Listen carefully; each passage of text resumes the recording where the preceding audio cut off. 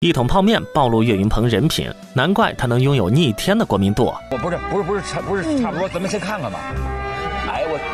天哪！什么玩意儿？这一举动直接看呆大张伟，一脸不可思议地问岳云鹏你能接着你能接着捋啊？：“但岳云鹏只是看了他一眼，就低头吃光了剩下的泡面。在岳云鹏看来，吃别人的剩饭不丢人，浪费粮食才叫可耻。要知道，在如今的娱乐圈中，很多明星都自诩为人上人，只因白鹿说了句“冰箱里有碗”，就被众人当众嘲笑。请问冰箱里面有什么？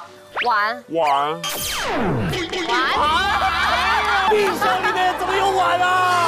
头天晚上的剩菜吗？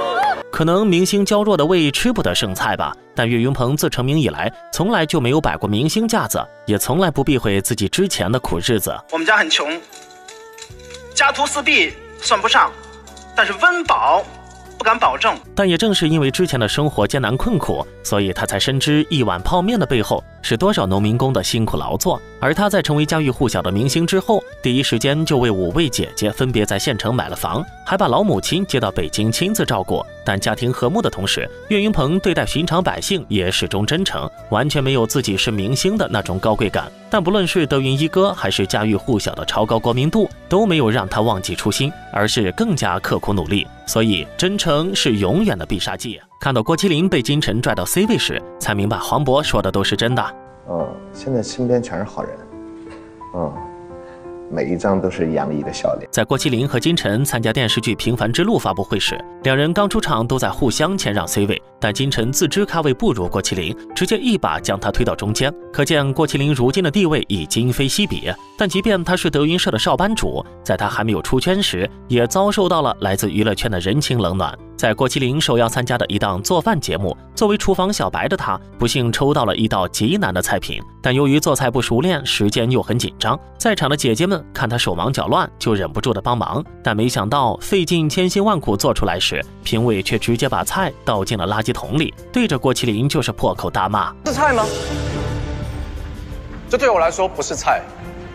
你有这么多干姐姐，你有这么多干妈妈，你从一开始从第一季到现在第五季了，每一道菜都是你这些姐姐、妈妈帮你完成的。此话一出，直接让郭麒麟无地自容。但更过分的还是节目组的惩罚，因为郭麒麟的菜品被评为全场最差，要接受拿芥末刷牙的惩罚。但这满满一牙刷的芥末看着就毛骨悚然。但郭麒麟怕影响节目进度，只能颤颤巍巍的把芥末涂在脸上，顿时就被芥末辣得满脸通红。旁边的秦海璐也连忙上前擦掉，之后更是在采访时质问节目组。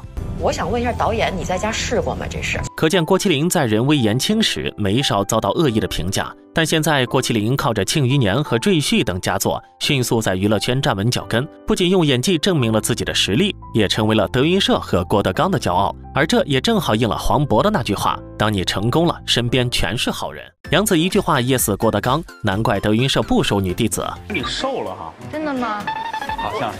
太最胖的时候是多重啊？基本上就上次来今夜游戏的时候，一百九十。没有没有，是九百一十四。去你的！彼时，杨紫受邀来到今夜有戏，因为出演《家有儿女》夏雪一角，成为家喻户晓的童星之一。一出场就给郭老师一个大暴击，可见他直接送给郭老师的一幅画像。然后今儿来这儿特意给您一个礼物你，给我带什么东西给您来？来一画像，真的呀？特像您，还特像我，是你画的吗？是我画的。那我得参观参观。来，来，